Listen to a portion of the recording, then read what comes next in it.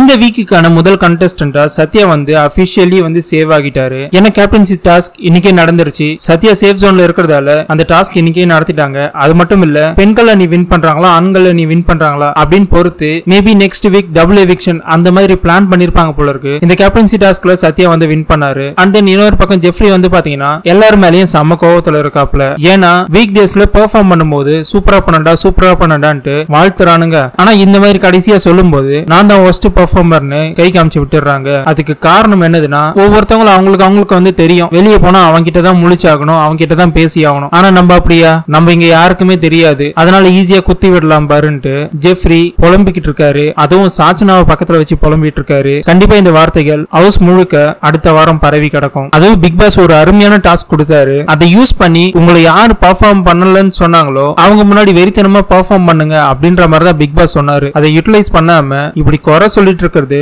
கொஞ்சம் கூட ஏத்துக்கத்தக்கதல்ல